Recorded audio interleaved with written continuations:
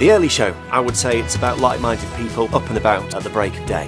We also aim for a balance between delivering the news agenda, having a laugh with topical features, and sharing some of the finest music that you're going to hear on the radio at that time in the morning. So join me, Steve Bailey, weekday mornings from 5am for the Yorkshire Early Show from the BBC.